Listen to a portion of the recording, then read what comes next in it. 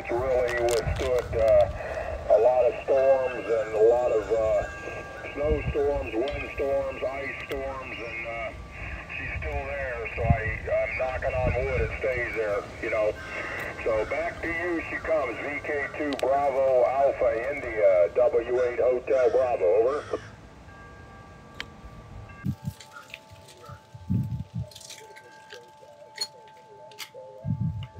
So this is my backyard setup. I come in here and uh, sit under the pergola here and have my uh, Xiegu G90 in an ammo can, Harbor Freight ammo can, just sitting there at the ready for me. And uh, plug it into one of those solar panel battery packs I have, which uh, those things are great. They just stay charged, even charged when it's cloudy. I, I haven't had any problems keeping them charged. The 200 watt solar panel. I like to sit out here and listen to the birds and watch the watch the wind and watch the creek, see all kinds of things. It's a nice way to get outside and still play with your radio a little bit. Maybe hunt some POTA or something like that.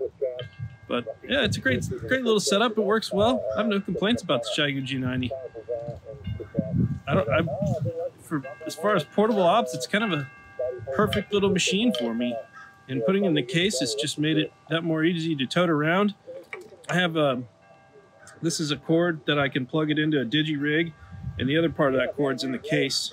So if I want to do digital modes, I can, um, which is something I do often. I have a little bit mini, uh, Beelink mini PC that I bring with me sometimes and, and do it that way. But yeah, it's just nice to be outside, especially on a on a warm day in December, warm windy day.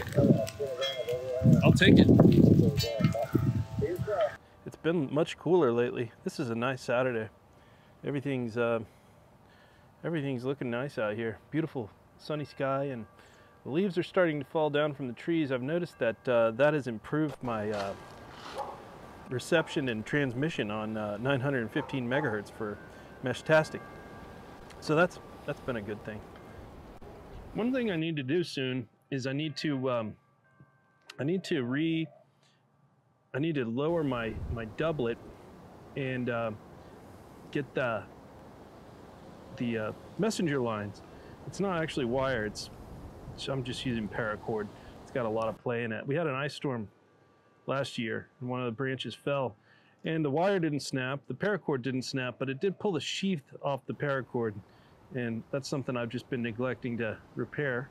But uh, it's getting to be a nice time of year where I can see through the leaves easily and might be time to go out there and fix that up soon and just inspect the, the wire on the paracord, uh, the wire on the doublet all in all. I've loved that doublet. The doublet runs, um, I can run up to, I think 900 watts through the uh, MFJ tuner that I have. I have a remote tuner and I've got that running to the house with uh, some buried uh, RG9BU coax that somebody gave me. It's some ancient stuff, but it works great. And then uh, from the tuner out there, it's going up into the trees through some um, 300 ohm window line and then to the to the dipole.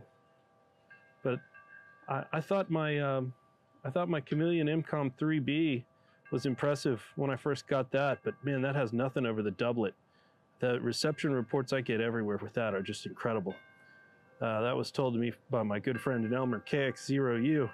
He taught me about the, the power of the doublet. I asked him what if he could put up any antenna, what would he put up, and that was his choice.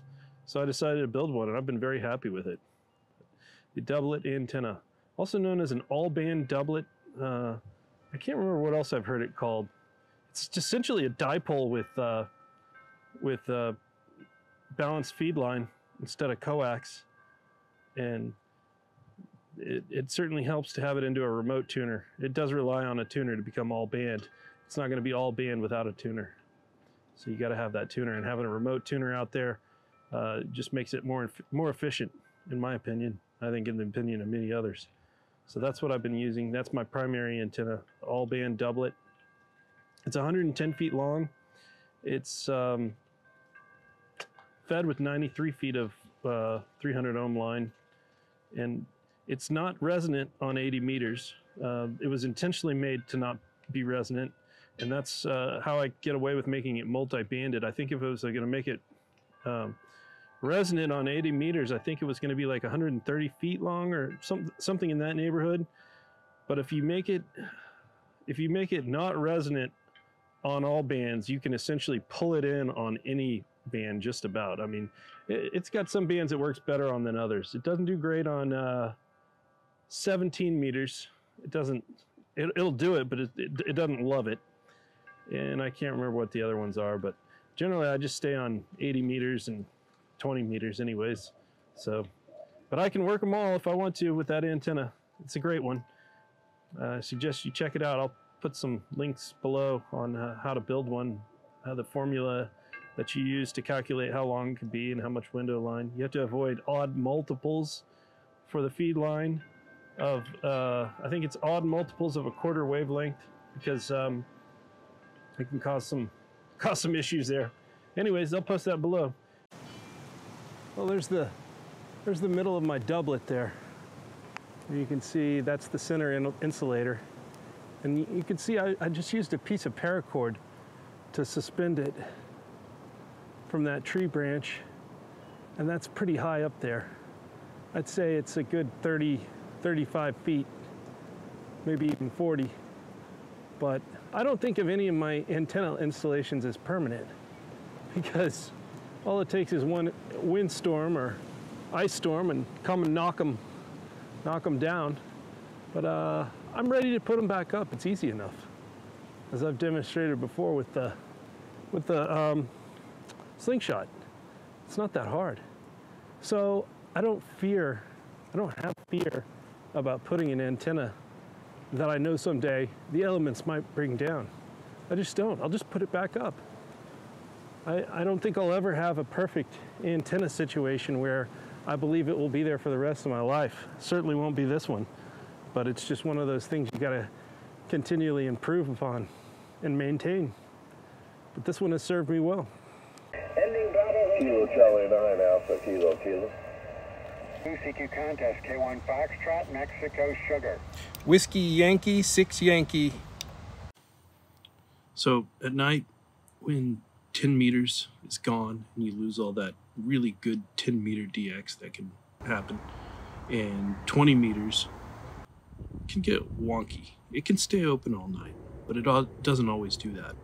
I've talked to people in the Indian Ocean before at 10 o'clock at night on 20 meters, and they sounded very, very clear.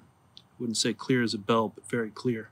In fact, I did that two nights in a row. I think it was Mars, uh, Seychelles Island over there in the Indian Ocean in between Africa and, and India. But so you're left with a couple options at night. You can go 40 meters for um, single sideband phone. There, there'll be a lot of people on. It's busy band, popular for POTA, Parks on the Air, and tons of nets.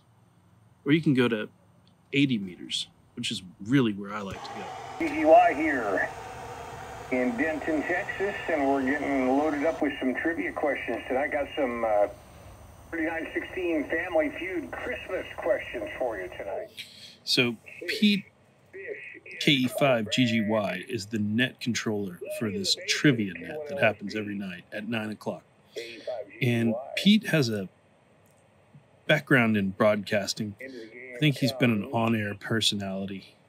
Uh, he he operates his station out of Denton, Texas. And he does an amazing job of holding this little group together every night. I don't do it every night, but I do it a lot. Sometimes I do it uh, down here in the yard, and I think that's when I enjoy it the most is when I'm sitting out here in the yard. But yeah, Pete uh, Pete does a great job of running this net and making sure that everybody is able to get in on the uh, on the game, and he listens for weak signals. He doesn't just call on regulars. He loves having new people into the net, which is kind of what the uh, 13, 3916 nets is all about. This net also serves another purpose in that it lets you test your radio. It lets you test your antenna. It lets you test your whole setup to see how well you're hearing and how well you're being heard because you will talk to people from all over the country on this net. Uh, 80 meters does take a, a bigger antenna to uh, to get out, and you got to have it high, high as you can, top of the trees. Work for me, but uh, I find it has a lot less atmospheric noise than 80 meters. You might not get the same distance that you'd get from 40 meters, but that doesn't mean to say you won't occasionally get some DX. In the case of 80 meters, my probably best DX uh, on single sideband was British Columbia. Uh, I, stumbled into a British Columbia uh, public safety net one night and uh, just checked in, and then everybody wanted to say hi because it was kind of unusual for someone from Oklahoma to be talking to someone as far away as British Columbia on 80 meters. First person on base. Name comes from the Latin word. It means to stretch. It's a lot of the same people every single night. You get to know people. It's kind of one of the fun things about radio is getting to know uh, a couple voices on the air that you talk to regularly. You check in with them. Hey, Steven, K86DOY. Hey, what's up, Rimmel? How you doing tonight, man? You're camping. Oh, I'm not camping. I'm just backyarding with the dog out here. We're I'm drinking some hard cider and chilling, man. Well, that's my backyard portable setup. The battery, the Xiegu G90, ham in a can, my dog, my solar panels, all that. That's how I do it. That's what I like to do. It's fun. You don't have to spend a ton of money to get on the air. The Xiegu G90 is a great first radio, and 20 watts is plenty of power to get you just about anywhere you want to talk to. The important thing is your antenna, but don't put so much thought into your antenna that you never put one up. Put up a simple dipole, or even a truck stop whip antenna. Anything, just start playing with it. See how it works, see when it works. Play around with different bands at different times of day. Just get on the air.